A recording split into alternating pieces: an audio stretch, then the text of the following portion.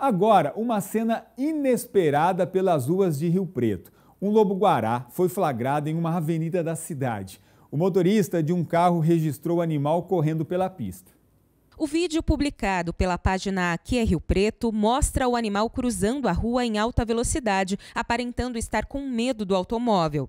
Segundo a Polícia Ambiental, os animais silvestres estão aparecendo nas vias urbanas com frequência por diversos motivos. Um deles é porque a proteção permanente das áreas de preservação e os condomínios estão próximos das matas que estão preservadas. Por conta dos rios e córregos que passam pela cidade, os animais buscam água para beber.